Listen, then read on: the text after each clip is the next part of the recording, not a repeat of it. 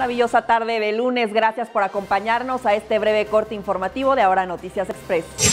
La directora del Sistema Estatal para el Desarrollo Integral de la Familia, Flor López Hinojosa, informó que la institución trabaja permanentemente para ofrecer atención integral a quienes viven algún tipo de violencia. Desde el organismo asistencial, coordinadamente con diversas dependencias, se apoya oportunamente a niños, jóvenes, mujeres o adultos mayores. En el caso de adultos mayores, citó que en lo que va del año se han atendido a 27 personas en condición de vulnerabilidad, que fueron víctimas de violencia familiar o abandono. En niños y jóvenes, agregó que el trabajo es interdisciplinario e implica no solo la atención de los casos de violencia y su sanción, sino también acciones de prevención, trabajo que realiza con diversas dependencias, entre ellas la Secretaría de Educación. López Hinojosa abundó que casos de violencia contra mujeres se atiende conjunto con diversas instituciones, entre ellas el Instituto Estatal de la Mujer a través del Departamento de Violencia se ofrece apoyo psicológico y jurídico por mencionar algunos.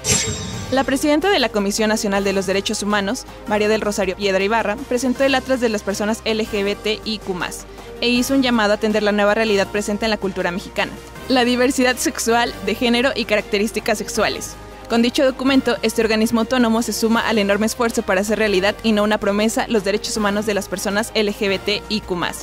Asimismo, indicó que este atlas da un mayor peso al marco jurídico nacional vigente con respecto a las obligaciones que el Estado tiene con los derechos de la comunidad LGBTIQ+, tales como la prohibición de la discriminación, el derecho al matrimonio igualitario y el reconocimiento a la identidad y expresión de género. El Club de las siete grandes potencias y democracias occidentales se compromete a apoyar de forma ilimitada a Ucrania y lo ha hecho a través de una declaración conjunta tras una videoconferencia con el presidente ucraniano Volodymyr Zelensky. Hasta aquí con los detalles de la información. Muchas gracias por su atención.